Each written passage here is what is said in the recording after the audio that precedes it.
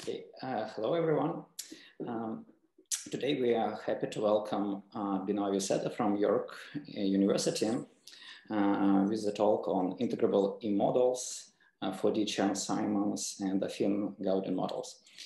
Uh, please, no.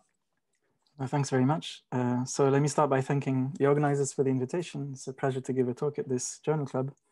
So what I want to tell you about is two recent um, unifying frameworks which were proposed for describing integrable field theories. So first one is based on 4D Chern-Simons theory, and the second one on affine Gaudin models. So most of the talk will be based on the 4D Chern-Simons perspective, but I'll also mention uh, the affine Gaudin story because it, uh, as I'll try to explain, it's very closely related. So the talk will be based on these two papers.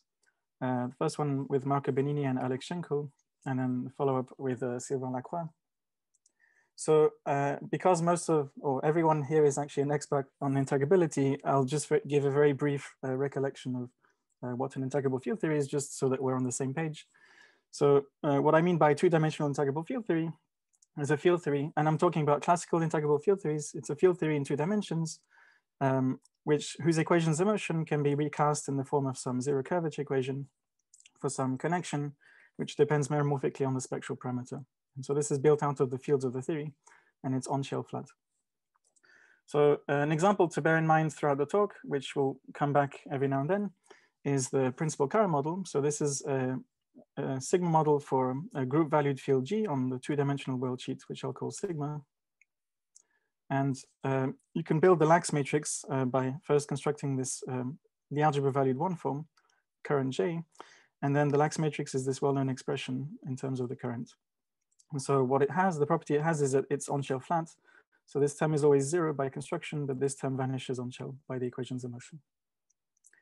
So given the usefulness of the lax connection, and in, for example, in constructing integrable uh, in, integrals of motion, uh, you have to wonder what its origin is and why it even exists. So um, there are two proposals for explaining the origins of the lax connections in various integrable field theories.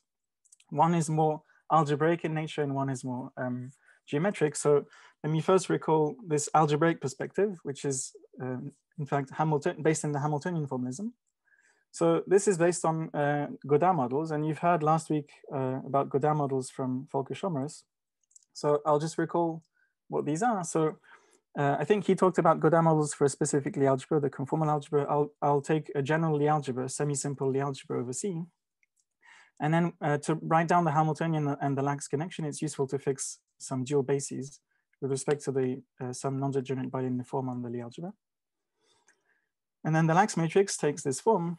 Uh, so what IA at site I here is just, it's a copy of the basis elements for the Lie algebra G, but attached to the site ZI. So for example, in here, uh, we have um, the basis, uh, which I call IA and then bracket one at the site Z1.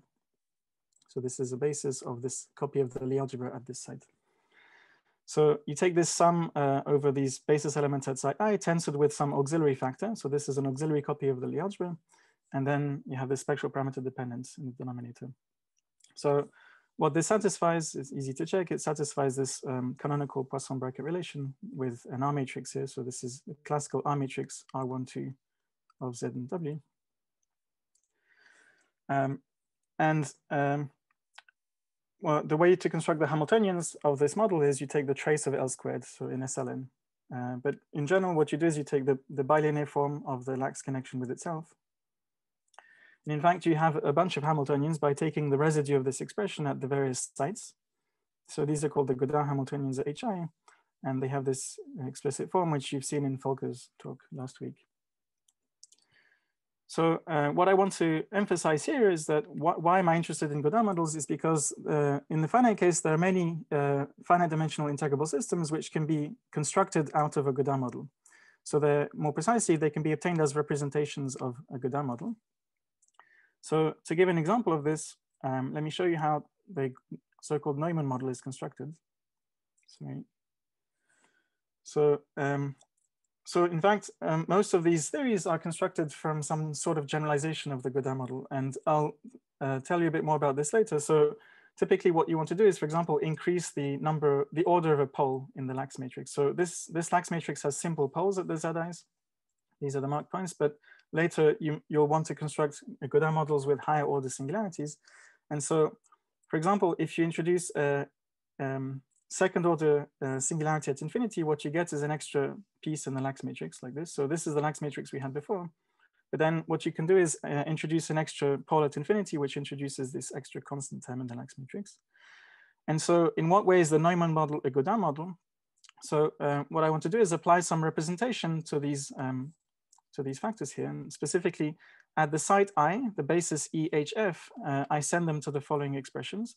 So this is um, uh, an expression in terms of uh, some canonic, canonically conjugate uh, coordinates x and p. So there are n of them. And I represent the uh, Lie algebra generators at site i in terms of the canonical variables at site i in this way. So it's, it's well known that these form a representation of SL2. And so uh, this thing I've written here is representing the abstract generators in terms of concrete phase space variables. And at infinity, you just uh, have this. Um, so it turns out that the copy of the Lie algebra at infinity is actually an abelian copy. It's not doesn't satisfy the Lie algebra relations of SL2. It's just an abelian Lie algebra. And so you just send the generator E at infinity to a half and then everything else to zero. And then the auxiliary factor you just represent in terms of uh, two by two matrices. And then what you get out of it is this um, concrete lax matrix, which if you've worked with the Neumann model before, you'll recognize this as the lax matrix of the Neumann model. So uh, in the same way, many uh, finite dimensional integrable systems come about as representations of the uh, of some Gaudin model. And this is because these integrable systems have uh, a lax matrix which satisfies this kind of algebra. Okay. So um, what I want to do now is explain how if you replace the finite algebra G by an affine algebra, then what you can start to describe is, is field theories. So everything up to now has been finite dimensional, but what we're interested in is field theories, or what I'm interested in is field theories. So uh, what you start with is uh, taking the uh, untwisted um, affine Kac-Moody algebra associated with some finite dimensional Lie algebra G. So uh, I pick a basis uh, of this algebra and some dual basis. So a basis is built out of these loop generators, central extension and a derivation element. And then the dual basis is the um, loop generators with the negative um, loop and then derivation element is dual to the central element and vice versa. Okay.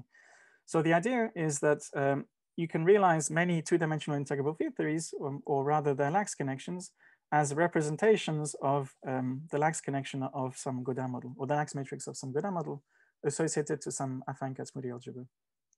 So this was first realized by Feigin-Frenkel in the example of KDV, but then it was later understood that this works much more generally. So the broad picture is the following. So you start with, let's take the simple example of a Gaudin model with simple poles. And what I'm doing now is I'm summing over these dual basis elements of the affine Kac-Moody algebra. So this is really an infinite sum. And uh, what I want to do is represent these again, in, as, as I did before, to obtain the lax connection of some field theory. So what you do is you represent the copy of the Kac-Moody algebra at site i um, um, as follows. So let me write out this sum here over the uh, infinite uh, basis element a twiddle explicitly. So I have the sum over the uh, central element and derivation element. Remember that the derivation element is paired with the central element. And then you have the sum over the loop generators. So what I do on the auxiliary factor, this factor here, is I represent k as zero. So this is sent to zero. Uh, d is sent to minus id sigma. So sigma is just some coordinates on the circle. And then uh, this guy I send to um, IA times uh, e to the minus in sigma. So this is a representation of the auxiliary copy of the Kac-Moody algebra at level zero.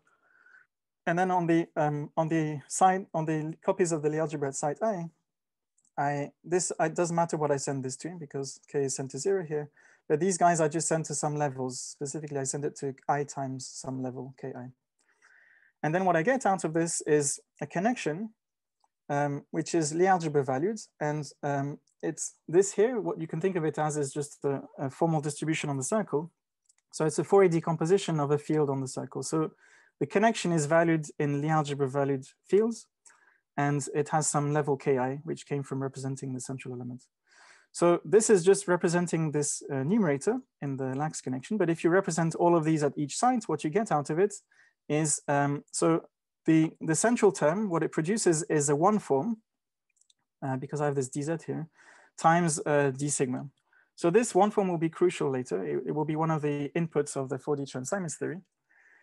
And uh, what you get out of these fields here is just the lax connection that people usually consider in these field theories. So notice that um, here the lax connection is multiplied by omega. So in fact, its poles are exactly where the zeros of omega are. So this will be important later also in the 4D Chern-Simons story. So in other words, uh, my one form here I obtain just uh, by realizing the central element by some numbers. And so I get this uh, one form, meromorphic one form. And then uh, its zeros are exactly where the lax connection, um, the usual lax connection has um, poles here. So specifically, if my one form has simple zeros, then my connection will have simple poles at these zeta i's. Okay. So um, the lax connection of the uh, Gaudin model in the affine case satisfies the same Poisson algebra relations as this one. It's just that you now have a, an arm matrix which is based on the affine Kac-Moody algebra generators. Uh, but everything works out the same. And if you represent it um, as I described here, so if you represent your Gaudin lax matrix in this way, what you get out of it is that the lax connection uh, that people usually consider satisfies this non-ultralocal lax algebra. So this just comes out uh, for free from the Gaudin construction by applying some representation to the Gaudin lax matrix. So these RNS here are just the skew symmetric and symmetric part of some R matrix, which depends explicitly on this phi here, which is just the component of the, the one form omega.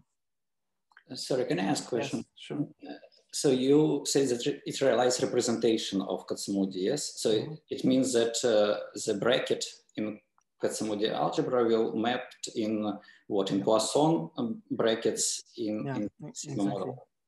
Yes, so and you and you read of uh, the, this um, relation between the Fourier modes uh, from Poisson brackets, just making Fourier expansion for fields. Yes, exactly. So maybe if I give an example, it will become clear. So let me give the PCM as an example. So I claim that the PCM can be obtained from this Gaudin model, which has a double pole at the origin and a double pole at infinity. So I explained before that the Neumann model requires a double pole at infinity, which introduces this constant piece in the lax matrix. If I also introduce a double pole at zero, what I get is not just one over Z term, but one over Z squared term as well. And so uh, these Lie algebra generators here, they satisfy some uh, canonical relations. So the, these are just bases of the Kac-Moody algebra, but they're addressed by some label, so some subscript here. So the subscript zero is, is in some honest copy of the Lie algebra G. But then uh, the subscript one is in some copy of the Lie algebra, which is multiplied by epsilon naught, some nilpotent object. So in other words, this, this subspace is a abelian Lie algebra, and it has an adjoint action of this guy. So the Lie brackets of, of this um, the algebra you can easily write down. And I'm saying that uh, the uh, fields of the PCM are realizations of these commutation relations. Okay, so specifically I'm saying that if you take the commutator of this guy with that guy, you find the same thing as if you to compute the Poisson bracket of the time component of the current J in the PCM and the uh, spatial component of the current in the PCM. Okay. And okay. so yeah. you formally introduce one more space. So now you it is uh, I think it's a Moody times uh, some some uh, another space. Exactly. Yeah, this space you mean here. Yes. Right. Yeah, exactly. So so it's sort of like a truncation of a um, it's a it's a truncation of a loop algebra over the Kac-Moody algebra. So basically, you take a loop algebra, but you just chop it off at degree one. So and then this guy becomes abelian because it, its commutator would be epsilon squared, but this is zero. Yeah, so it's sort of an extension of the Kac-Moody algebra, um, but that's just because the, the site is a double pole at the origin. If you take, so you can deform the PCM to get the so-called Yang-Baxter model, and then this double pole splits into two simple poles, and then you have honest Kac-Moody algebras at both sides. So I'm just showing you an example which is more familiar, but that requires introducing double poles. G-twiddle is what? It's the affine Kac-Moody algebra. It was this um, untwisted affine Kac-Moody algebra. And in terms of the PCM, what's the central charge? Well, um, the, piece, the PCM, uh, the central charge uh, for the, the copy at the origin is, is one here. There's a one here. In fact, it, it has two central charges because there's one for this guy and one for that guy. Uh, in fact, the, it's the one for um, this guy, which is central charge one, and then the one at the, uh, the simple pole one is central charge zero. So there's, there's a pair of central charges for each of these two copies of the Lie algebra. Yeah, and then the central charge at infinity is one as well. But can I also ask about central charges uh, and try to connect with um, all, stuff? You of course know the classical textbook, uh, Faddeev and Takhtajan, yes, uh, yes. Hamiltonian methods, and yes. there is the last chapter about Lie algebraic structure of integrable models. And they stop, I don't think they pronounce words about Kac-Moody algebra, but they have um, uh, this current algebra, so which is exactly yeah. Lie algebra times Laurent polynomial, Laurent yeah. series, yes? yes? So it is like Kac-Moody without central extension. Yes. And then they wrote some general uh, Lie-Poisson brackets, uh, and then they say that, okay, if you write it in particular representation, if you take factorization, go to some let's say coadjoint orbits, you will produce many different integrable models. Yes. So, so it, uh, what, what is there? A, so what is the serious uh, difference? Is there a serious difference from that uh, um, story? Here you add so, two central charges somehow, yes. yeah. Yes. So, um, I don't I don't remember exactly which part of the book you're referring to, but I think uh, the main focus here is on non-ultralocal models. So this is the key point. So what Gaudin models provide is sort of a general framework for understanding the origin of these uh, non-ultralocal models. And the fact that there's multiple levels, it's just coming from the fact that the Gaudin model has higher order poles at, at the sites. It's not, so um, I think in, in the PCM, you can see that there are multiple levels because if you look at the Poisson brackets of the PCM, you have uh, J1 with J0, it's got, uh, you know, it's, it's got a term which is proportional to J1, and then it's got a delta prime term. Uh, so like this, and then, so you can say this is at level one, but it's not quite a Kac-Moody algebra because it, it's two different currents, um, or two different components of the same current. And then J1 with J1 is zero, so it's like a zero level. And then J0 with J0, J0 is proportional to J0, which is also got no delta prime, so it's got level zero. So you can sort of see all these levels here in the Poisson brackets of the PCM.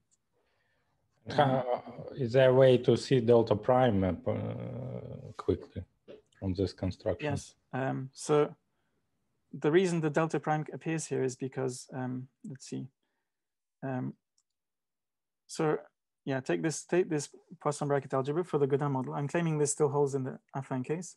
So uh, this affine um, algebra, in fact, if what you can do, if you represent this auxiliary space, so consider the loop generators, then you get IA tensor IA, uh, and then times uh, e to the minus in sigma, e to the minus i n uh, sigma prime. And then when you sum over n, uh, you get the delta function. So in fact, uh, what you get is the usual R matrix, finite R matrix, times a delta function. So this is, this is becomes delta of sigma minus sigma prime. But these guys get represented as differential operators, as we just saw. So the differential operator will act on the delta function to produce a delta prime. And then you have the other two terms which come from the commutator of the field part with the R matrix. So there are both delta prime terms from the derivative acting on the R matrix, and there are field terms or delta terms coming from the fields commutator with the R matrix. Does that answer your question? So the delta prime terms come from the fact that the lax connection has, uh, it's a connection. So it has a d sigma which will act on the R matrix in the commutator and it produces these delta prime terms. Sorry, and the fact that the um, uh, charges are in involution now automatically follows from this first representation. I mean, this the, one that looks like no, ultra low. It no, it's not automatic. Uh, so, uh, it, I mean, this is still a, a difficult problem. Um, and in fact, in the field theory case, um, well, for, for, for the non-ultralocal theories with delta primes, it's, it's very well known that um, there's this notorious problem of generating these integrals of motion from the monodromy. The monodromy doesn't have a well-defined Poisson bracket. And so one way around this is actually, you can at least build local integrals of motion. And the way you build them is as certain polynomials in the Lax matrix, uh, and which you, which you then integrate over sigma. So these are local densities. They're local in the fields because they're built out of polynomials of, of the Lax matrix. And the Hamiltonian is one of these local integrals of motion. So there is a systematic construction of these local integrals of motion due to Evans, Hassan, MacKay, and Mountain, uh, which in fact works more generally for any affine Gaudin model. But it's not, it's not automatic from the, from the original bracket. That was your question. So it doesn't yeah. follow automatically. Yeah. Yeah. Yeah. Okay. And, and, this algebra that you get, this is the most general Maillet algebra, or yeah, this uh, is well, it's the general Maillet algebra with uh, non-dynamical R matrices, and of this special. So you can get other forms like this. So I've shown you uh, the case for standard Gaudin model, but you can get uh, R matrices of more general form. Like for example, coset sigma models don't have this R matrix. They have a, an R matrix twisted by some automorphism this comes out from considering another class of Gaudin models, which have an equivariant lax matrix under some automorphism. Yeah. But you can get, I mean, all, all the integrable sigma models that we know and lots of integrable field theories like the Sine-Gordon model, Toda field theories, these all come out of this construction. Yeah. Okay. And then, so I was saying that this Lax matrix, if you represent it in this way, which, which just amounts to saying that the Lie brackets um, relation for these generators of this algebra, they're just the same as the relations satisfied by the PCM field. Then you get um, this Lax matrix, this usual Lax matrix of the PCM, and uh, at the front you get this one form, which is the PCM um, for the the one form for the PCM. Okay. So, are there any other questions on Gaudin before I move to the 4D Sorry, May I ask you something? Yeah, sure. Oh, sorry. Yes, please. Yes, please.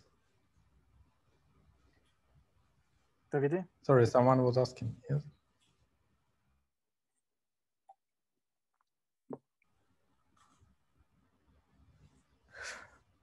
So, uh, okay.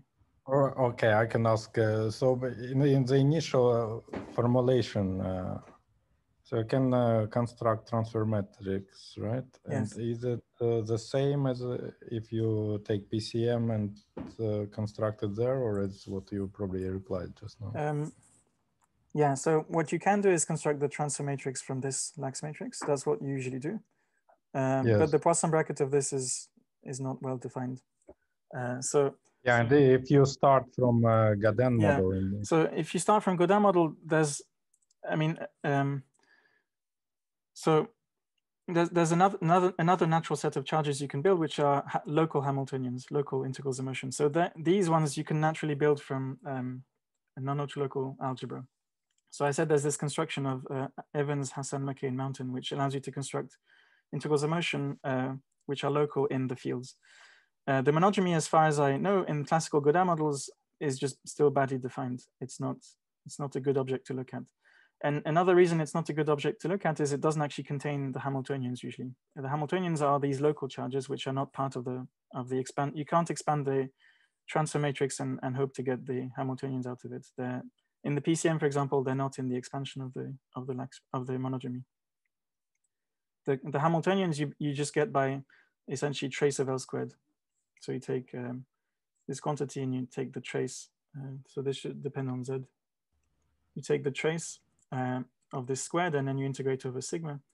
And, and then you can take the residue at the poles of this Lax matrix. So at zeta one or zeta two, or at one or minus one, and you get some quantities which when you add them up or when you take their difference gives you the Hamiltonian of the PCM.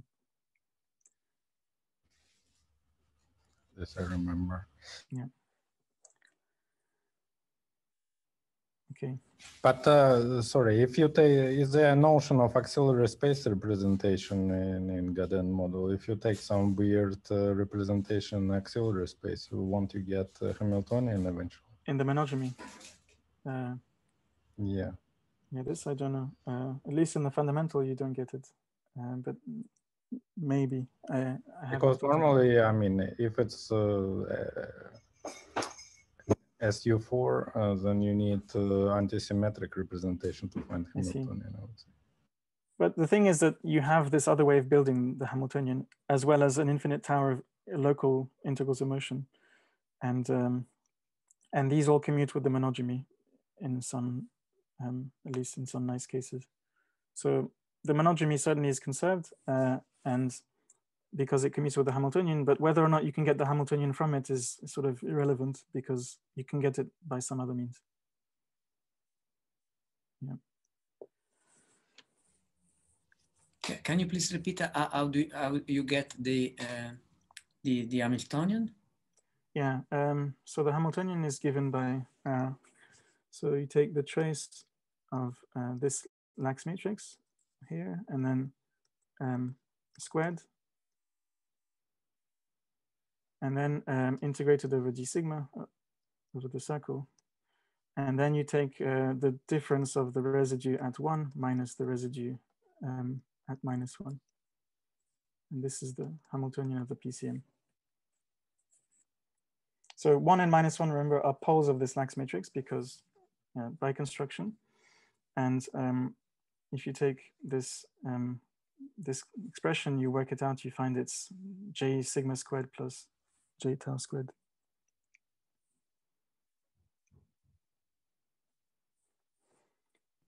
And this, this formula actually works more generally. In general, the, the Hamiltonian of a general Gaudin model is always going to be built out of a sum of residues of the trace of the lax squared at the poles of the lax matrix, where the, the coefficients are plus or minus one, depending on the, the model. And the momentum you get by plus, take the plus, it gives you the momentum. Okay. Thanks. Yeah.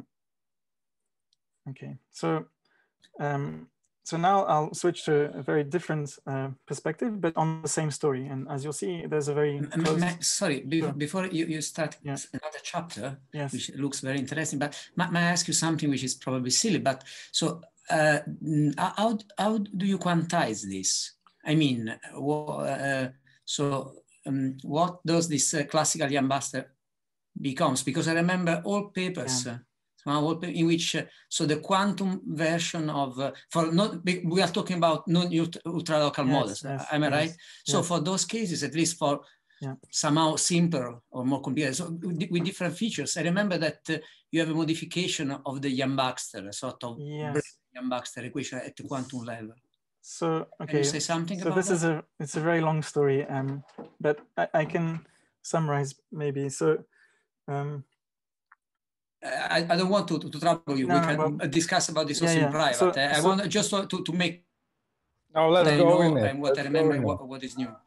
So as I said, the monodromy is not well defined for these models. And so, um, uh, so how to say, um, well, if you want, but if you stay at the level of Gaudin model, right? Yeah. So at the level of a Gaudin model, I can tell you the quantization is quite natural. You just basically turn this into a commutator. So the point is that if you quantize linear brackets in an integrable system, the brackets stay linear. So the R matrix does not get quantized. Okay. So the claim is that uh, if you if you try to quantize the Gaudin model, you can naturally quantize it in this way. I just told you, just this becomes a commutator. Uh, but then the question, which is still difficult, is how do you construct uh, integrals of motion for this algebra?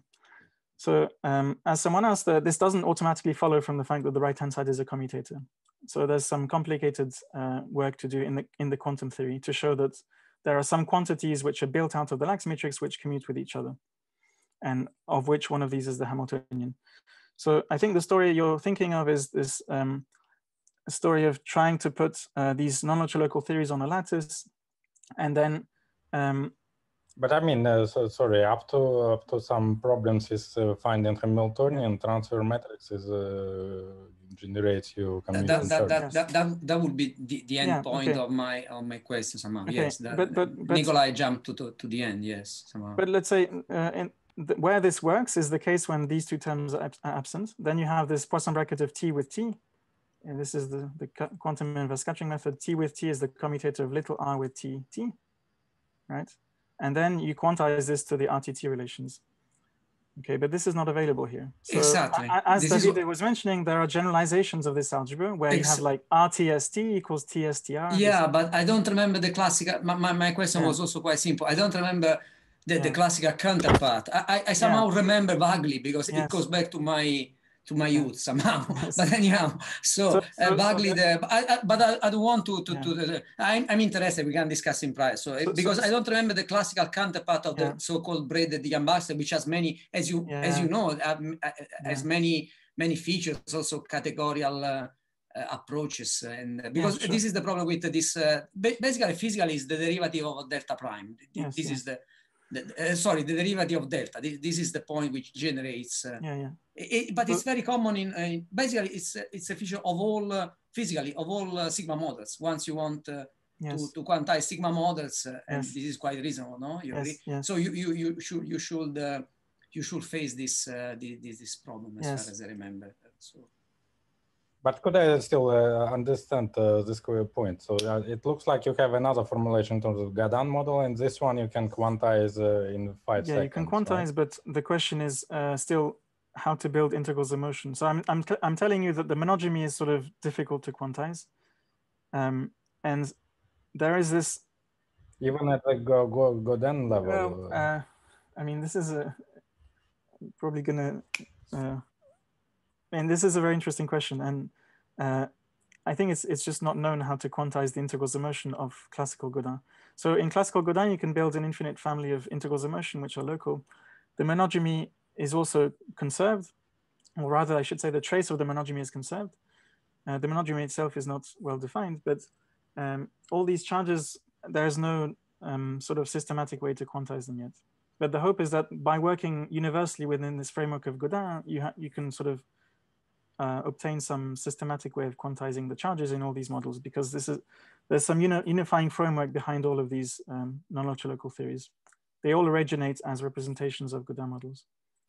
And Right, I don't understand that, but let's okay. go on. Yeah, yeah, just, just a, brief, a very uh, brief note. Probably you can also think heuristically to go the other way, since as you said, the Gaudin seems to be more, ge more general as far as I understand probably the most general. Then you, you, you can uh, go to some model we, we know how to quantize and understand how to write it in terms of Gaudin, and then you have some recipe yes. or something like this. So, but yeah. this is very, you know, just sure, uh, sure. just words. I understand that. Uh, no, no. Well, I mean, one case where you can do what you're saying is KDV. KDV, we know how to quantize, and exactly. it's a Gaudin, it's a exactly. Gaudin model, and there's KDV. There's a... you, you know the lattice, everything. Yes. You know, you, you everything is yeah. so it's not so easy, but anyhow, now everything is under control, and uh, yeah. you know but how to. In fact, you can even quantize in the continuum. This is BLZ, so we don't even need to go to the lattice. Yes, and although in the continuum you have a lot of uh, yeah, you, you, have of course divergences. Now use uh, conformal yeah. field theory, and then if you want to go KDV is okay. sine-Gordon yeah. is a little bit uh, trickier. So conformal field theory is a very powerful tool, but you have to make some. Uh, yeah, okay. I, I think we're uh, going deep okay, maybe at the break. into discussion yes. grounds. Let's. Uh, okay, so postpone. So this other perspective is uh, completely different. Apparent, I mean, on on the surface, but actually deep down, it's very closely related to what I just said. And I hope you'll see this as I as I explain this alternative. So this was initially proposed by Costello, um, and then further worked out by Costello, Witten, and Yamazaki. So in these two papers, what they looked at is uh, integrable lattice models. And then recently it was realized by Costello and Yamazaki that in fact, the same procedure also allows you to construct integrable field theories. So the, the action is the same, but the difference uh, with the lattice models is rather than putting line defects as they did uh, in these two papers, in this series of papers, you put surface defects. So more precisely, the, the theory is defined on, on sigma, which is the two-dimensional world sheet, which I'll take to be R2, cross CP1, which is the uh, spectral plane of the, of the theory. So the whole thing is called X. And then you have this one form omega wedging the, for the 3D uh, Chern-Simons form or th you know, th Chern-Simons three form. So this omega I want to stress is really the same as the one which appeared in the Gaudin model as a representation of the central charges. So now what we have is this um, uh, Chern-Simons one form. Uh, and um, in fact, because omega has a dz component, uh, you can automatically drop the dz component of the, um, of the connection one form A here. So you just have a three component connection. So it's like a partial connection on, on X. And um, what, what the goal will be to, uh, to turn this into the Lax matrix. So I'll explain later how essentially you want to get rid of this term. You want to set it to zero. And what you'll be left with is a, a two uh, a, a, Lax connection with two, le two legs, or I should say connection with two legs. And it depends on sigma. Sorry, it depends on Z as well, but you want to make it meromorphic as well. So the goal will be to turn this into the Lax matrix. Okay. So of course, Costello Yamazaki have a, a, proposal for how to do this. I want to give a different perspective on the same story. So uh, first, uh, let's think about the action. So the, the, the, Lagrangian, in principle, it looks like it's quite singular because it has this one over z minus zi term. So this omega has singularities at these surface defects. So it's singular at R2 cross any of these zi's. And so the question is, well, uh, does this action even make sense? And so it turns out that for simple poles, although omega is singular on these surface defects, it's the, the Lagrangian is actually locally integrable near the defect because dz wedge dz bar of a simple pole uh, is actually bounded. So you can integrate this thing. So, um, so the action is well defined, but now the, the question is, um, is it a gauge theory? So the, is it invariant under gauge transformations? And what I want to stress here is that I'm concerned about finite gauge transformations. So usually people consider infinitesimal gauge transformations, and it's not too hard to show the action is invariant under such infinitesimal gauge transformations but I really want to consider general gauge transformation, large ones. So uh, the behavior of the uh, action un under such a gauge transformation reproduces the same action plus two new terms. So this is familiar if you familiar with 3D Chern-Simons. So you have the same two terms popping up, but with an omega wedge uh, in front of both. So in particular, for 3D Chern-Simons, what you usually do is you consider the, the action on a three manifold with a boundary. Uh, and then what you do to get rid of these terms is you impose boundary conditions on the gauge field um, to make, uh, you say that it vanishes at the boundary. And uh, what this ensures is that the action is uh, not quite gauge invariant, but gauge invariant up to two pi integer multiple. So this is fine because uh, what you ultimately consider is uh, e to the i times the action. And so this is actually um, what you plug into the path integral, which is therefore gauge invariant, and so everything is fine. So your theory is gauge invariant in the, in the path integral. So I want to stress that in this story, actually, it will be gauge invariant on the nose. So this will not be here in the, in the present story. So the 4D Chern-Simons action will just be gauge invariant. Okay. So and what I want to first do is, is rewrite these two terms that come out of the variation as local terms on the surface defect. So these are integrals over the whole space, but I want to sort of localize them on the surface defect. So I need to introduce some notation to rewrite it in, in this way. So first I'll define the defect Lie group, which is basically a copy of the Lie group for each of the, of the ZIs. Okay, so it's a direct product of the, of the copies of the Lie group for each side. And because I've already mentioned um, these term, these uh, theories with higher order poles, if uh, the Zi, for example, was a higher order pole, then you need some sort of extension of the group, which includes uh, nilpotent variables. So this would be some jet extension of the group. So I won't talk about this in, in this uh, talk, but this whole procedure works for general omega with general poles of any order. But in the simple case, it's very simple. You just put a copy of the group at each site. Its Lie algebra is just going to be a copy of the Lie algebra at each site. And then, so this I'll call the defect Lie algebra and the defect group. And the defect Lie algebra has a very natural bilinear pairing on it. So you just take the bilinear pairing at each of the sites. So you pair the copy of the Lie algebra element at each site. And then you just um, sum them with weighted by the residues of the one form omega. So these were residue. This is the residue at x of omega. Okay. So this is a natural bilinear form. And again, this extends to the case of higher order poles. So uh, another notation I'll use a lot is this uh, iota, which is an embedding. So it's just the embedding of the surface defect into the total space. Okay. So my defect, remember, is just some disjoint union of, of these copies of sigma, and they lie in, in X at different at different points, uh, which I call Zi's, and this Z underline is the collection of all the Zi's. Okay. So if you start from, let's say, um, a group valued field like the gauge transformation parameter. So this is living on X and valued in the group G. But if you pull it back to the surface defect, meaning if you just restrict it to the surface defect, what you get, you get a, a function valued in G, but living on the surface defect. The surface defect is just a disjoint union of copies of sigma.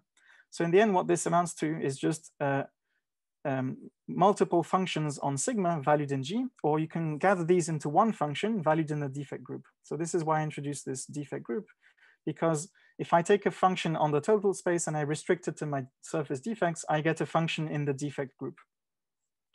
Same thing for Lie algebra valued functions on the total space. If I restrict them to the defect, I just get a, uh, Lie algebra valued one form, but the Lie algebra is the defect Lie algebra. So it's a one form on sigma valued in the defect Lie algebra. Okay. So this is just notation, but uh, the claim is you can show. Um, so this, this piece is easy. This one requires some work, but you can show that both terms which we had in the variation of the action before can be rewritten as local integrals over the surface defects. So the first one is an honest integral over sigma, of the pullback of the gauge field and, and this uh, gauge transformation parameter to the, to the defect. And then um, this other term, you just have to have a tensor with an interval. So this is a typical Wess-Zumino-Witten term, but now it's a Wess-Zumino-Witten term for the, for the group GZ hat, oh, sorry, GZ. So it's for the defect group. In particular, this is the bilinear pairing on the defect group. So it's just a Wess-Zumino-Witten term for the defect group. Okay, so this is the variation. And so now we want to sort of get rid of these two terms. We want to impose some boundary conditions on the gauge field and on the gauge transformation parameter to make these two things vanish, these two terms vanish. So there's a very uh, natural way to do this, uh, which is to choose an isotropic subalgebra of GZ, the defect algebra. So isotropic just means that if you take any two elements of this Lie algebra and take the inner product with themselves, uh, you get zero. So the the inner product of any two elements of this subalgebra is just zero. So what this means is that uh, if I take my gauge field A not to be valued in the in this uh, K, but if I take its pullback, which remember is valued, um, so the pullback is a field which is valued in GZ, but now I demand, that's, this is my boundary condition, I demand that on the boundary it's not living in GZ, but actually in this subgroup or in subalgebra. Okay, so it's valued in this isotropic subalgebra. And I do the same thing for the gauge transformation parameter. Uh, of course, this is uh, necessary because I want to preserve this boundary condition. So I demand that my gauge transformation parameter also, when I restrict them, restrict them to the defect, they're valued in this, uh, the group associated to the isotropic subalgebra K. So uh, this is a condition you impose on the fields at the boundary or at the defect. And uh, what, what this guarantees uh, is that these two terms vanish essentially um, by definition of isotropy because this is valued in K by assumption, the boundary condition, this is also valued in K, and then the inner product of K with K is zero. So this term disappears. And then here, everything is valued in K. K is a, is a subalgebra. So when you take the Lie brackets, you get something in K as well. And so therefore the whole thing vanishes. Okay, so this is a simple way to make the action gauge invariant. You just demand that your fields, when you restrict them to the defects, they, they are valued in this isotropic subalgebra. Is there some uh, constructive uh, description of this uh, isotropic subalgebra? There are many examples usually. So one way to build them is using an R matrix. So you choose an R matrix on the defect Lie algebra. So some endomorphism of, um, of the defect Lie algebra. And um, I mean, uh, I, I'm forgetting the details, but you can build a Lie algebra out of this, which will be a natural isotropic subalgebra of this isotropy following from the skew symmetry of the R matrix. Um, and the fact that it's a subalgebra follows from the Yang-Baxter equation. So you can build subalgebras quite naturally from R matrices on the defect Lie algebra. But there are many other, other ways to build subalgebras. I mean, it depends. Many such subalgebras. Exactly, yeah, yeah, it's exactly. not unique. Yeah, exactly, not unique. and, about some maximals. Uh, yeah, so it has to be maximal. So this will be important later. So, okay, so it's, it's really a Lagrangian subalgebra to tell you the truth uh, straight away. So, so, so far, yeah, sorry. Will it be unique? no, no, no, no, no, there are many choices. This is maximal. Um, if, I mean, you can build maximal things for different choices of R matrices. Mm. They're not, they're not unique at all. Uh, okay. Sorry, and this is all for complex, the complex groups and algebras, yeah? No, you can put reality conditions. Everything is real. I haven't told you about reality conditions, but essentially if, if the site Zi is conjugate to another site, then the Lie algebra, there's an automorphism that sends one copy of the Lie algebra to the other and the whole, the, this defect Lie algebra is a real Lie algebra.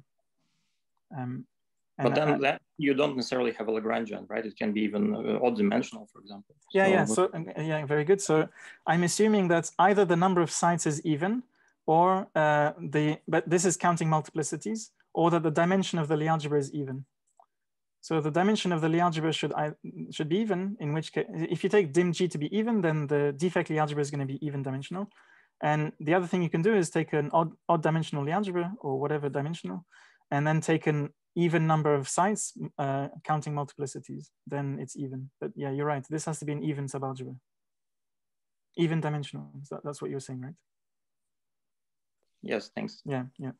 But this is, yeah, sure. You know, and can we find a point to stop in the next few sure. minutes for coffee break? Yes. So I'll summarize this, and then um, and then we can stop. Yeah.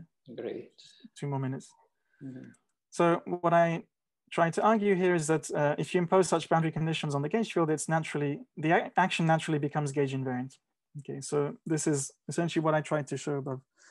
So um, to summarize what we've done in maybe a more mathematical uh, point of view, so this will be important to sort of motivate the next part.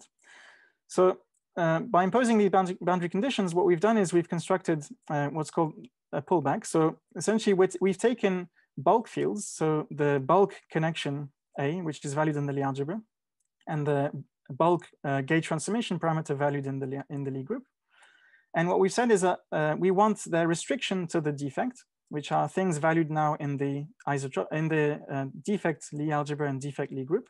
We want them to be uh, valued in K.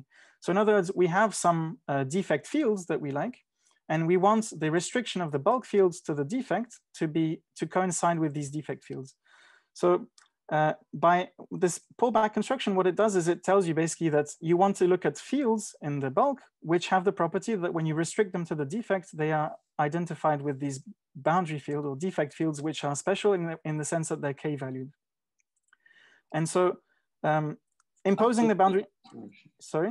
Up to gauge transformation. So you can tra gauge transform this and it should coincide with the restriction of the bulk field. Or so you're anticipating what I'm about to say after the break. So this is not the most natural way to do things because what we're doing here is we're identifying gauge fields, which is not natural. So uh, what you should do uh, is actually uh, impose boundary conditions up to up to a gauge transformation indeed. And this is not what this pullback construction does. The pull, I'm just telling you, uh, if you just impose gauge conditions like strongly or strictly, then uh, this is what's afforded to you by the pullback construction. Uh, so you have this, this groupoid and you do a pullback of this groupoid uh, in this way. And what you get is just fields which restrict to the boundary to fields which are k valued. Um, so uh, remember this is k valued. So this condition is just saying that the, the restriction of the bulk gauge field to the defect is k valued. But uh, what you've just said is true. It's not really the most natural thing to do. So after the break, what I want to do is, is explain another better way to impose boundary conditions, which in fact um, imposes them up to, up to gauge transformations. Yeah, so this is a good point to stop. Okay, great. So let's uh, stop. And well, if you have one quick questions before the break. Yeah, I have a quick question. So uh, Costello and Yamazaki, they already had this condition, right? That the, there should be a Lagrangian yeah, yeah. boundary condition and so on. So what, what what is your statement here? I mean, you say it's gauge invariant. So you're proving yeah, th that, This is the new thing. Yeah, we're, we're proving it's gauge invariant for such gauge transformations. For, sorry, for such boundary conditions. So this is something which they, they uh, considered only uh, for infinitesimal gauge transformations, but now I'm, I'm claiming it's just gauge invariant um, for all gauge transformations. Yeah, so this is new. But then the next part will be new as well. It's this new perspective on how to impose the boundary conditions. Yeah, but uh, in Costello and Yamazaki, they didn't consider large gauge transformations, just ones which are infinitesimal. Okay, very good. Uh, let's. Could I ask one more question? Sorry. Oh, yeah. Okay. Uh, what if instead of asking for gauge invariance, you ask you ask for it to be invariant up to a multiple of two pi? You get some extra freedom. Yeah. Uh, that's a good question. I haven't thought about this. Uh, so the reason we consider these um, boundary conditions is because they're the natural ones which produce all the known sigma models. Uh, in fact, an interesting question is what are other types of boundary conditions? This is a very interesting question. And there could be, as you say, boundary conditions which actually don't um, don't make the, the action gauge invariant, but up to only a multiple of 2 pi. This is possible. Um, but I haven't thought about this. Okay, thanks. Yeah. Yeah, and also, by the way, in some models, these kind of shifts, discrete shifts, they are related to uh, discrete Hopf anomalies and so on. So, I mean, even in the models uh, which have some physical consequence, you know, so even yeah. in models which are invariant up to 2 pi km, that's again up with some boundary conditions, right? And if you yeah, yeah, sure. Yeah. switch the boundary conditions, that might not be an integer anymore. Like if you put like PSUN bundles that's or whatever. Right. Yeah, yeah, yeah. So yeah, so in the usual story, you can put your gauge field to zero at the boundary, and then you get that the action is invariant up to a multiple of 2 pi. Um, so even when you impose boundary conditions, this is true. Yeah, the, the action is not quite gauge invariant. But um, it, here we were considering this class of boundary conditions because they're the ones of most interest. Um, but it's an open question to find out if there are other gauge transformations. And potentially you could relax this gauge invariance on the nose to a gauge invariance up to a multiple of 2 pi, yes.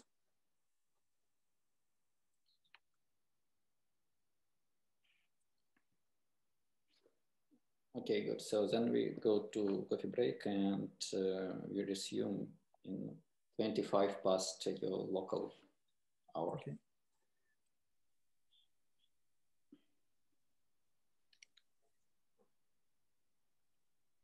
Oh yeah, I guess you stop recording.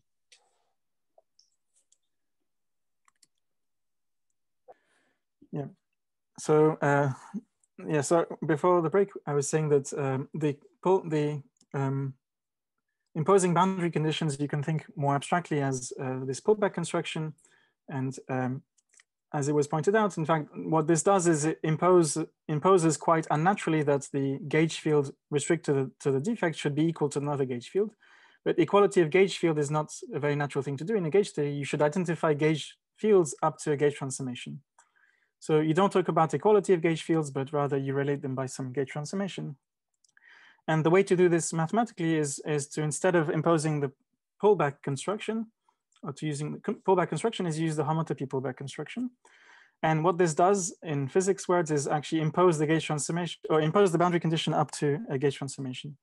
So um, why, why the homotopy pullback construction? From a mathematical point of view, because these are groupoids. So groupoid is just some category with invertible morphisms.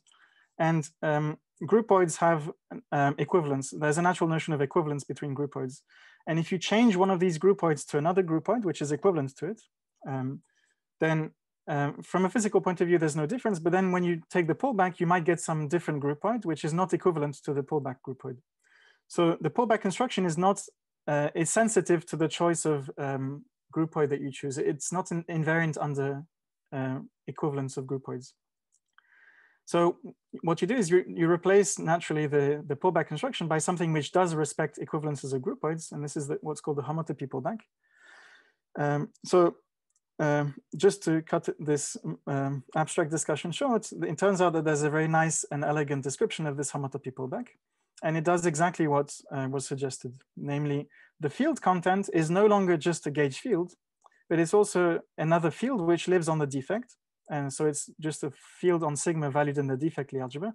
And this is what's called the edge mode. And what it does is it is, so essentially it's living in this corner here. It's, um, oh, sorry, this should be a group. So this is group valued gauge field. And so what it is, is, is just a field uh, which essentially witnesses the equality of the restriction of the bulk field to the defect and this defect field.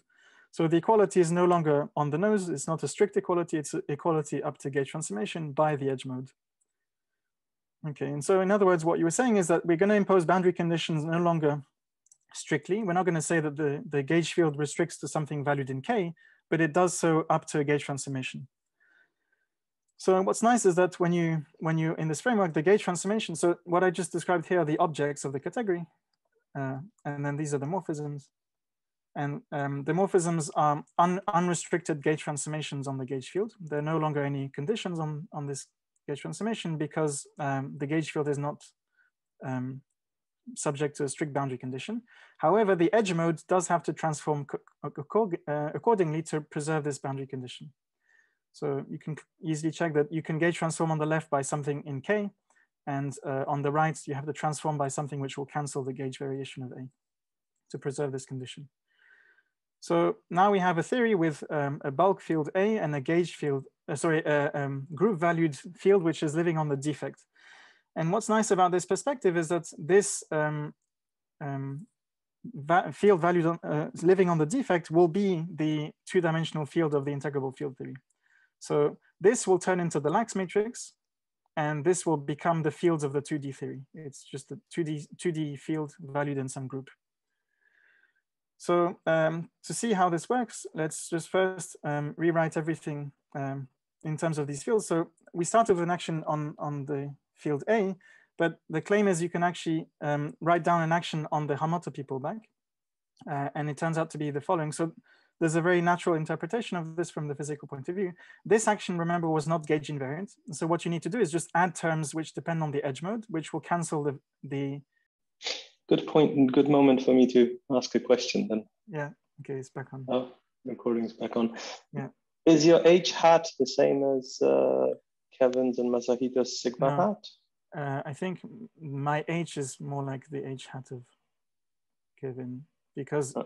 you see its property is that if you transform the lax matrix by H, you get something in K. That's exactly what they have.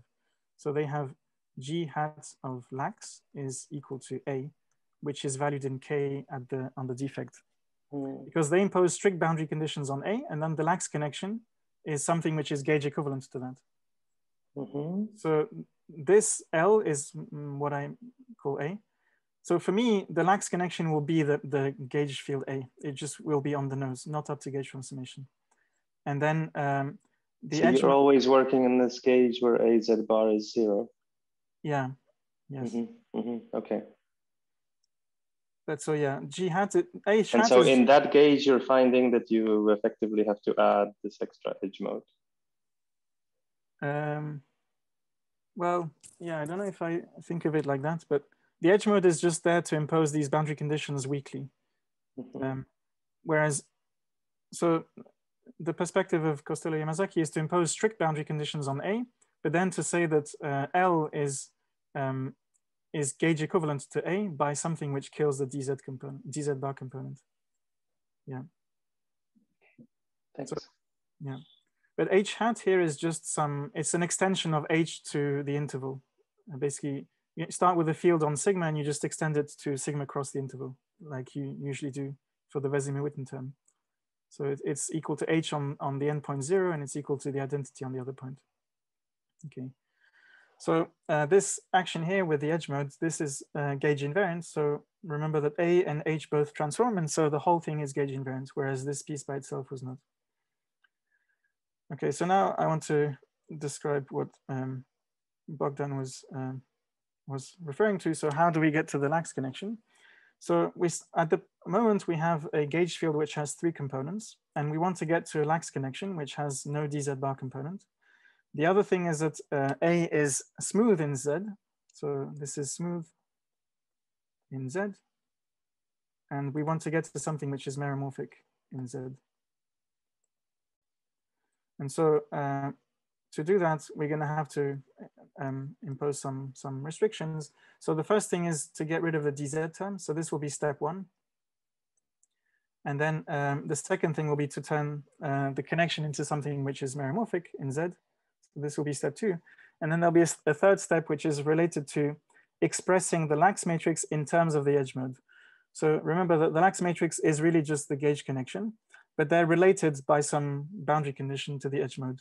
And so the, the point will be to try and express the lax connection in terms of the edge mode, because the edge mode will be the field of the 2D theory. And what you want to do is express the lax matrix in terms of the field of the 2D theory. You don't want the lax matrix to be, well, they're related by some constraint and you want to solve this constraint. So the first step is getting rid of, the DZ bar component. So um, what we do classically, it's fine to just say, let's get rid of it. Let's, let's consider a subclass of connections which have the property that they don't depend on DZ bar. So you have to ask then what to do in the quantum theory. And so in the quantum theory, I think you might have to do a gauge transformation like Costello Yamazaki do. But I still think that even if we do a gauge transformation, there's still uh, something to the edge mode. The edge mode is something else. It's it's a field which is living on the um, on the surface defect, and its role is to impose boundary conditions weakly. So um, yeah. Sure. I mean, if you're if you're in uh, one gauge and it's a physical field, then it'll be a physical field in another gauge as well. Yeah. So you're saying this is just a choice of gauge.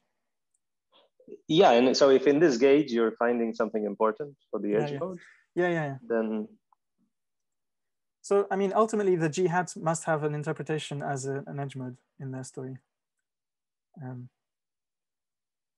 yeah. It, so I think that the precise relation between this approach and their original construction is not completely clear, but um, I mean, it would be interesting to understand precisely the relationship. Yeah. But so for this talk, I'll, I'll just um, work classically, and what I'm going to do is just restrict to connections which have no dz component, dz bar component. And correspondingly, what I have to do is restrict my gauge transformations to be such that this thing is zero, so that I don't reintroduce any dz bar components. Okay. So uh, when I've restricted to a connection of this form, the Chern-Simons term simplifies a bit uh, because it has just two, two legs. And so this is really just the Chern-Simons of, of L. It's just L d, d by L. And then uh, you have to bear in mind that there's still this constraint, which is part of the sort of part of the data, the field data. Sorry. Is there a question?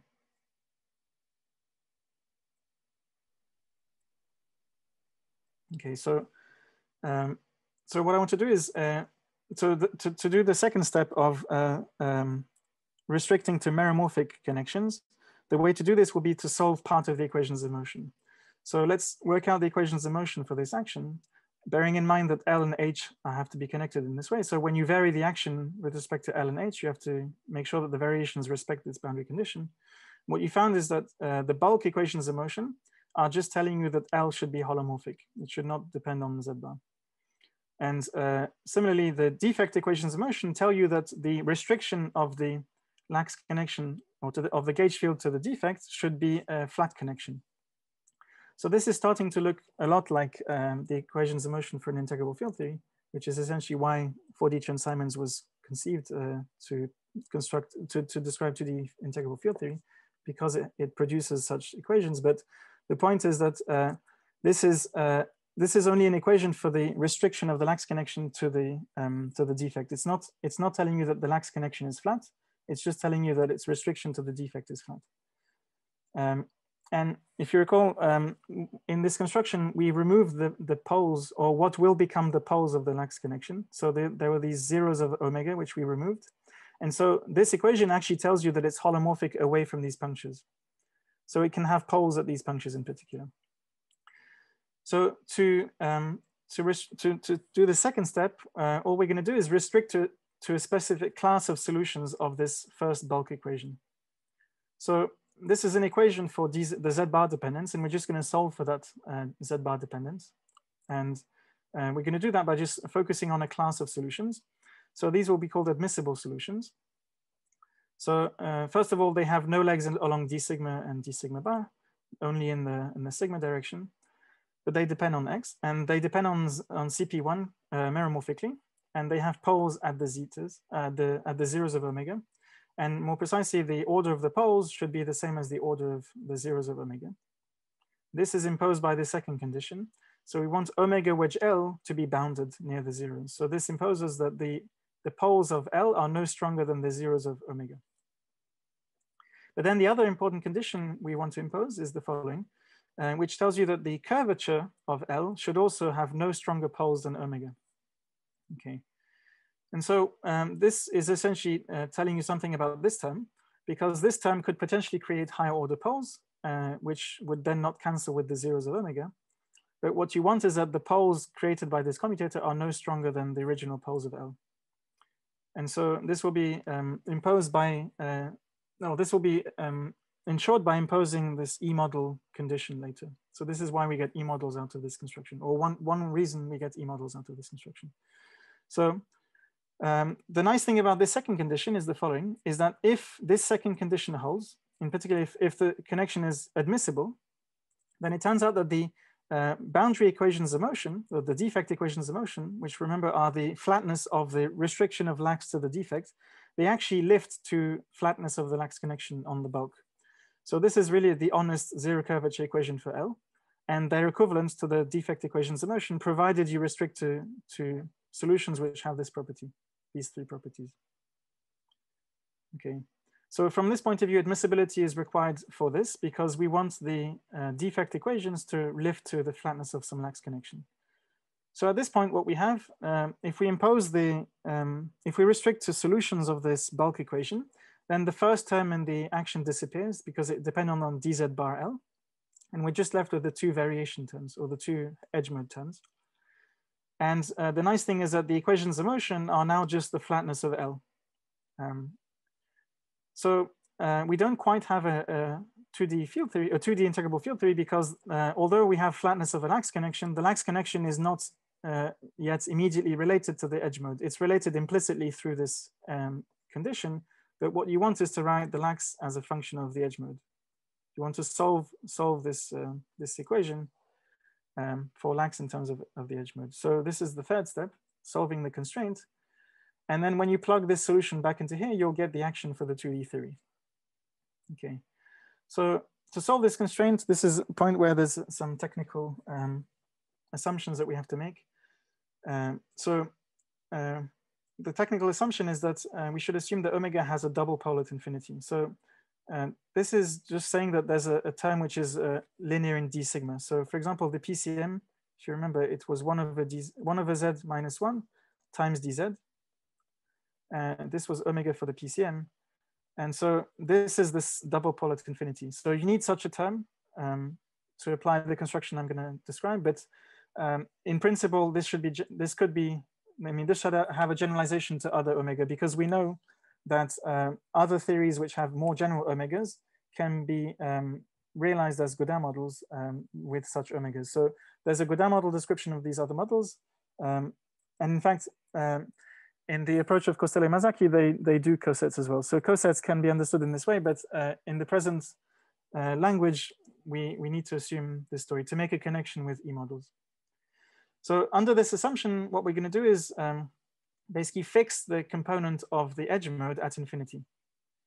So at infinity, there are sort of two components to the edge mode, and we're going to fix them by gauge invariance, by using the gauge invariant, or partially fixing the gauge invariance. So specifically, uh, we're going to look at um, the set of poles without infinity, so with infinity removed. And then there's a subgroup of the defect group, which is just um, or it's, it's a group which is like constructed like the defect group, but it has no component at infinity. So the claim is by some gauge transformation, you can sort of kill the component of the edge mode at infinity to just be left with an, an edge mode, which now lives in some smaller defect group, which has no component at infinity. There's a corresponding uh, restriction of the full space to the, or you, you have an embedding of the defect without infinity to the full space. So I call this J now. And then the constraint on the lax matrix now looks like this. The, if you pull back the lax connection in the bulk to, the, to this restricted defect, so you don't include infinity in the defect, then the, the edge mode L gauge transforms this to something valued in some isotropic subalgebra, which again has no component at infinity. So basically all I've done is just the technicality. I've got rid of the point at infinity using a gauge transformation. I've just used up some of the gauge freedom to, to fix one of the components of the edge mode. Okay, so now um, I can describe for you a class of admissible solutions. So to solve conditions A and B of the admissibility condition, I just focus on uh, meromorphic connections which have simple poles at the zeros of omega. So I'm focusing on omega with simple zeros here, uh, just with a double pole at infinity only, but the other poles are simple. Sorry, uh, sorry, all the poles are simple and then the zeros are, I'm assuming are simple. So these are simple zeros of omega and therefore I need to take simple poles in L. So this is the form of my lax connection. It's meromorphic, so it solves condition A, and it has simple poles at the zeros of omega, so it solves condition B. And then condition C, I solve by demanding that it satisfy this, um, this condition. So uh, this condition um, comes from uh, some work, um, it was first imposed in some work by Severa on constructing um, E models, so general E models, not integrable E models, from 3D Chern-Simons. So there's a, a, nice construction of E models, which are a class of, of sigma models. I'll describe them in a second. So these are called E models, and they, they have the nice property that they sort of um, um, allow you to describe Poisson-Lie T duality in a very elegant way. So they come naturally from 3D Chern-Simons, where the gauge field of 3D, 3D Chern-Simons um, has this condition imposed on it uh, on the boundary. And so you can do the same thing here. This is basically telling that if you take the, the gauge field of the 4D Chern-Simons theory, you restrict it to the defect, then it should have this property that when you act with some linear operator E, which I'll define in a second, um, you get the Hodge star acting on this. So I need to tell you how to build E, and this E will basically be um, um, a special class of E. So in, in um, Severa's work, E has just some general properties, but I'm going to build a specific example, uh, which will be built from, from the following data. Uh, and this will turn out to produce an integrable E model. Okay, so it's a special class of E, which um, is an endomorphism of this um, defect Lie algebra. And the only data required to build it is to um, assume some decomposition of the set of zeros into two subsets, zeta plus and zeta minus. So here's how this endomorphism is built. So you start with an element in the defect Lie algebra. And all this business of um, assuming that, uh, or, or, assuming that I have a double pole at infinity and gauge fixing at infinity, this was required so that my number of poles which are left uh, are equal in number to the number of zeros. Because um, the number of poles of a, of a meromorphic one form is there are two more poles than there are zeros in general. Uh, but uh, because we fixed uh, some data at infinity, we've got rid of two poles. And so we just have the number of poles left is equal to the number of zeros. So this is why this map here is invertible. So this map is basically taking a meromorphic thing on, in the bulk and just restricting it to the defect. And so anything, uh, any Lie algebra valued element in this defect Lie algebra, it comes from some meromorphic thing, some unique meromorphic thing in the bulk uh, by restriction. And then all you do is you just flip the sign on the, on the poles at zeta minus, and then you just uh, restrict to the defect again. So this is defining an endomorphism of the defect Lie algebra. And so this condition, all it does is it essentially imposes that um, the lax connection at a pole which is in zeta plus or minus. So if it, a pole at zeta plus or minus, this is going to be proportional to d sigma plus or minus, the light components. That's all this does. So, and it's easy to check that because of this, um, the, the poles, when you take a commutator of lax with lax, they don't get stronger because these um, d sigma plus wedge d sigma plus is zero, so you don't create stronger poles uh, at a given zero. So the, the poles are split in this way to essentially ensure that we have the its admissibility condition C satisfied. Okay. So uh, this operator E, we can show under mild assumptions that it has this nice um, property that you can decompose a defect Lie algebra into two um, isotropic subalgebras. So remember K is an isotropic subalgebra, which is in fact a Lagrangian subalgebra, it's maximal. This is still Lagrangian and then this endomorphism E, um, under this endomorphism E, because E is a symmetric operator, this is still is symmetric and squares to one, this is still uh, isotropic. So we have an isotropic uh, decomposition into isotropic uh, subspaces, I should say. This is a subalgebra, but not this. And then we take a projection onto, uh, onto this component. So PL will be just projection onto this factor along this factor. So now uh, the claim is that um, it's easy to solve this constraint using such an operator. So we can find a, a unique solution to this constraint satisfying this condition, and it's given as follows. So um, here PL is the projection I've just described. So it's expressing here the lax connection in terms of L, which is the edge mode with infinity removed. And I told you that this was invertible. So in fact, you can really get the lax matrix from this, not just its restriction to the defect. So this is an expression, gives you an expression for the lax matrix in terms of the edge mode. And so if you plug all of this into the action, you just get this um, action for a 2D sigma model with a, a Wess-Zumino-Witten term. So it turns out that this is actually the action for an E model Or more precisely, it's a, an E model. I mean, it's a, it's a restriction of an E model, which uh, is defined on GZ bar, but um, sort of a, a, restriction to this coset. So um, the E model really lives on this defect Lie algebra, but then you can reduce it to some sigma model on this quotient. And this is what we have here. So it's important to remark that these uh, sigma models, these E models were built originally by Klimčík and Severa just uh, for the purposes of describing Poisson-Lie T duality, not, nothing to do with integrable uh, sigma models. But it turns out that all the integrable sigma models that we can construct uh, out of 4D Chern-Simons, at least the ones we have with this recipe, uh, they're all um, E models in disguise. So we have, in fact, a very large um, new family of examples, and I'll give you an example now. Uh, and these are all E models essentially by construction.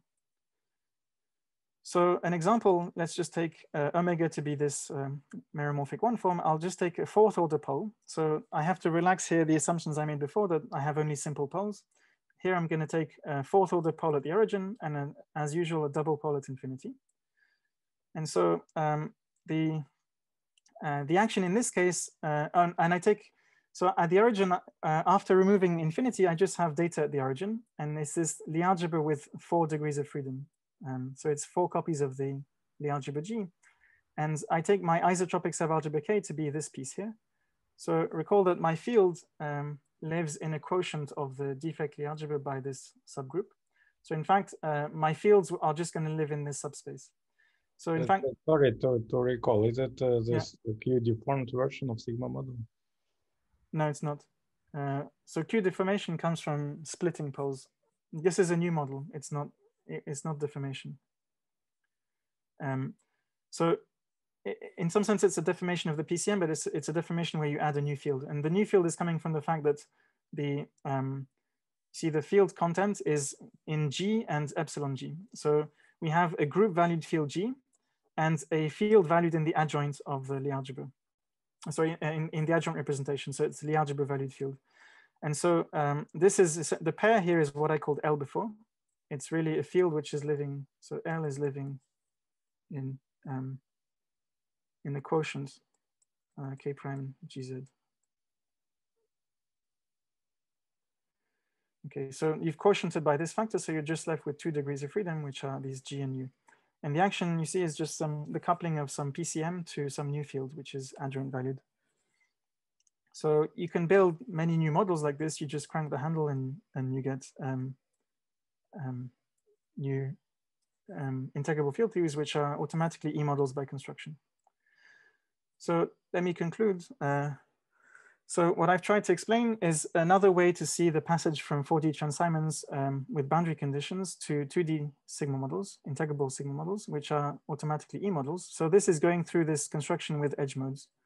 So um, I impose these boundary conditions in a different way, uh, which were homotopic uh, in nature. And then I restricted this 4D action down to 2D uh, by imposing various um, restrictions on the lax matrix. So um, this edge mode construction was uh, first, or the edge mode construction via homotopy pullbacks was first understood in this um, paper in gauge theories with boundaries, but this is a generalization to gauge theories with defects, which are codimension higher than one. Uh, all the construction I described generalizes to higher order poles in omega. I gave you an example uh, just above. So the whole construction works in general. The only assumption you need is that there there's a double pole at one side, and this is typically taken to be infinity. Sorry, in in terms of yeah, Gaudin. Okay. Yeah. In.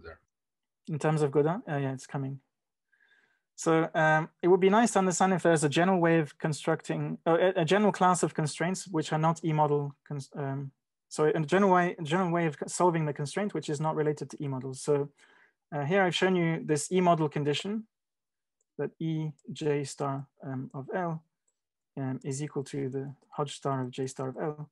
But this is just one way of solving the constraint, or one, one way of, um, what, the class of solutions of the constraint we've looked at have this property, but it would be interesting to see if there's other ways of solving the constraint and potentially also other ways of imposing the boundary condition. So this could lead to new uh, integrable field theories. So in the Hamiltonian analysis, which I told you is uh, closely related to the Gaudin model story, uh, it would be nice to understand how this story with edge modes uh, with edge modes works in the Hamiltonian framework. So it's known that affine Gaudin models are closely related to 4D Chern-Simons. Specifically, if you do an, a Hamiltonian analysis of 4D Chern-Simons, what you find is the non-local lax algebra for the for the gauge field A, in the gauge where AZ bar is zero. So you can go to some gauge and, and uh, you find that the gauge field of 4D Chern-Simons satisfies this non-local lax algebra. And this is sort of built in because the non-ultralocality was encoded in this one form omega, which is essentially part of the action of the 4D Chern-Simons theory. Um, but what would be nice to understand is the relationship between boundary conditions, which you impose in the 4D Chern-Simons theory, and representations of the affine algebra, which you impose on the Gaudin story. So uh, in both stories, you do different things. You impose either boundary conditions on the, the gauge field, or you impose, or you, you choose a representation of your um, Kac-Moody currents, and both of these should be somehow related. So okay, you, you, don't know yet how to generate a model from Gaudin? Uh, well, yeah, it's a paper in progress. I mean, all these boundary conditions, we have translations in terms of representations, but so it's known, but but uh, this is sort of in on examples. We know how the boundary condition translates to a representation of the affine Kac-Moody algebra. but it would be nice in general to understand what is the mechanism that relates boundary conditions of this 4D gauge field to representations of the affine Kac-Moody algebra. But in terms of if your perspective was, uh, if your goal was to generate uh, two-dimensional integrable field series uh, yeah. from Gaudin model, yeah, it's clear what to do. From the Gaudin model, you just choose a representation. So you can choose more general representations. So for example, one thing which you can do in the Gaudin model, which you, we don't know how to do yet in 4D Chern-Simons is to get Sine-Gordon theory. So Sine-Gordon, we, we know the representation which gives rise to Sine-Gordon um, when you apply it to some specific Gaudin model. But um, the boundary condition which produces Sine-Gordon is not known as far as I'm aware.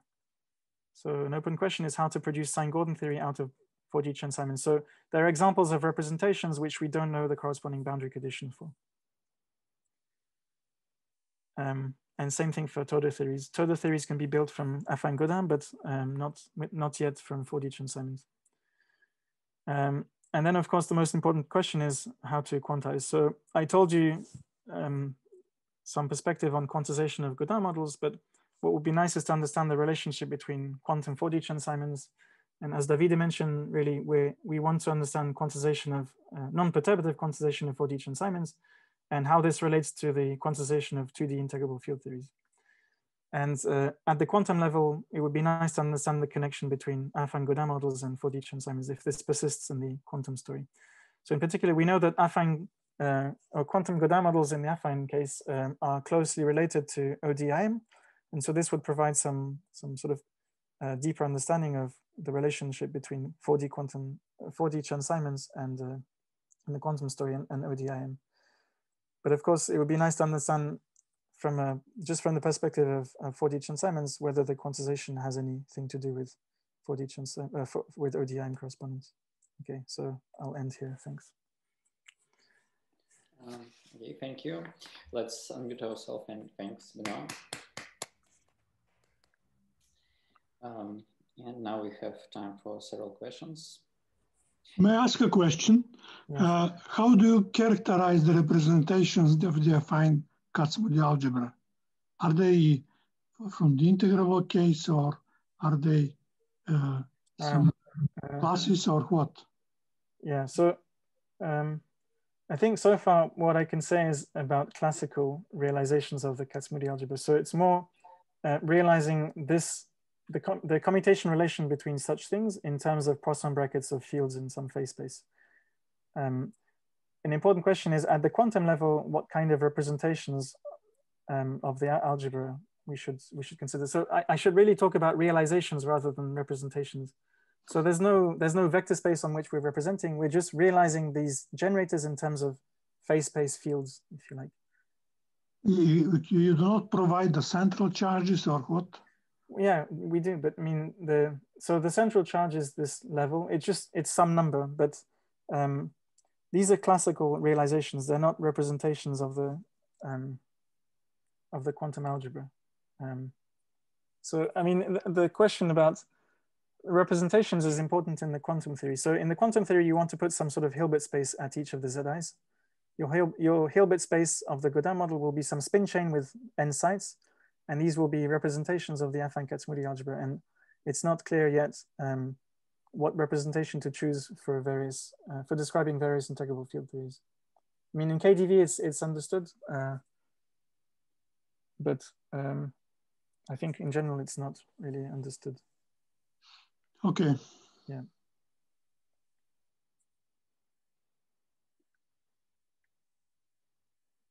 Yeah, other questions? There is a question in the chat uh, from Yanis. Yanis, do you want to ask? Yeah. Yes, I, I was asking those infinity poles, if they have any physical meaning. Does it mean you put something? Um, yeah, so they have a physical interpretation. What, what it's doing is it's breaking the gauge invariance down to uh, a constant um, symmetry, a di di diagonal symmetry. So um, essentially, um, you see, omega is is multiplied by d sigma, and so um, when so uh, well, the, the effect of, of having a simple pole at infinity rather than no poles is to break the gauge symmetry. So if you have no poles at infinity, your theory has a gauge symmetry. Uh, so for example, coset models are described by, uh, by omega with uh, two simple poles, coset CFTs. So one over Z plus, um, one over Z plus K over, K over Z minus one. So this is uh, describing a coset CFT and um, these have, I mean, these are cosets. So in general, in class, in the classical story, coset sigma models are described by theories which have no simple, no double pole at infinity. So that's the, the, so in other words, what we're describing here is just models with no gauge symmetry left. So it's the gauge symmetry is um, completely fixed. You can, you can reduce it to, um, yeah, to, to a theory with, with no gauge symmetry. Um, but uh, I mean, because these models have a Gaudin model interpretation, they should also have a, a 4D Chern-Simons interpretation. I mean, they have one, sorry, but uh, from this point of view, we don't know how to construct them in general, from this point of view of this E-model construction. But um, it's just a technical restriction. It's not really important, I think. So what you should get out of this whole construction is a generalization of E-models. If you were to generalize to the case with no double pole at infinity, you would get what are called um, um, degenerate E models or um, dressing cosets, they're called. So this is the expectation. Um, so these are E models with some sort of gauge symmetry built in. Thank you. So if you consider a projective space uh, sigma model, uh, so yeah. some of them are not integrable, as I understood. Like, yeah. Do you see what's going wrong with them? In the quantum theory. Yeah. So presumably there's some anomaly, and um, yeah, it's not clear. So it, I mean, I, I told you we know how to quantize the Gaudin model, but the question is how to quantize the integrals of motion. So whatever methods should allow you to quantize the integrals of motion of a general Gaudin model, something should break down in these cases.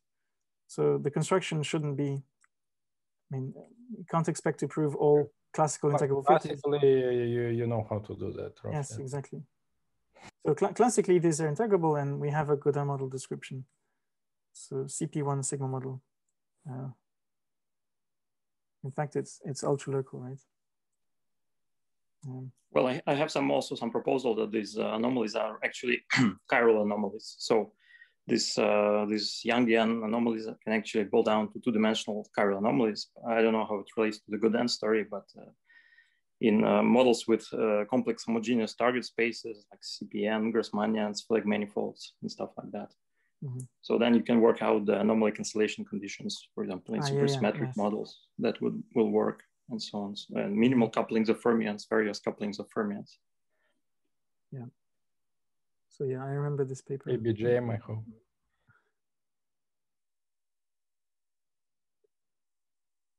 Uh, there's a question in the chat. Can you introduce square root cuts instead of poles in the Z-plane? Um, but these are the cuts. Uh, this is just different parameterization, right? Yeah, I think you can choose parameterizations with cuts, um, but but the, the construction I presented is just assuming from the beginning that the parameterization is meromorphic. Um, Yeah. Yeah, but I guess so the way to reformulate the question, so the quantum level uh, for sigma model, or I don't know if we take an equals for uh, so whatever, superstring and ADS5 uh, coset model. Yeah. There you also have this uh, the same, right? Um, form, the same yeah. pole at infinity and yeah. so on, you would yeah. say. But then at the quantum level, there would be really cuts, right? You can't rationalize them. Yes.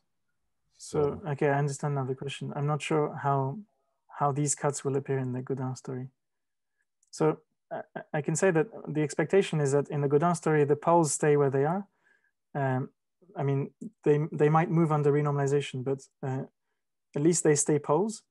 And uh, in the 4D Chern-Simons, these correspond to defects. But then the point is that from the affine Gaudin model story, the expectation is that their spectrum is described by opers, which have uh, pole singularities. The poles are at the same locations as the sites of the Gaudin model. And where these cuts would come from is in the solutions of the oper, which would, so, you know, you can construct TQ systems from um, spectral data of the op So the op is meromorphic, but somehow the, the solutions have these fancy cuts.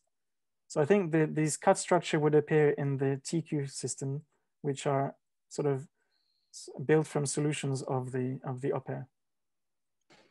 Yeah, connection coefficients. The quantum determinant. Probably. Yeah. Uh, but the quantum determinant is how you build these TQ functions, right? Yeah, or just the, the simplest one, right, to see them. Okay. Yeah, so I expect that there are cuts, but only in through the solutions of the ODE, not not in the ODE themselves. So the, the Gaudin model will never have these cuts, I think. Um, but they will appear in, in the ODE/IM correspondence when you build a TQ system, I think.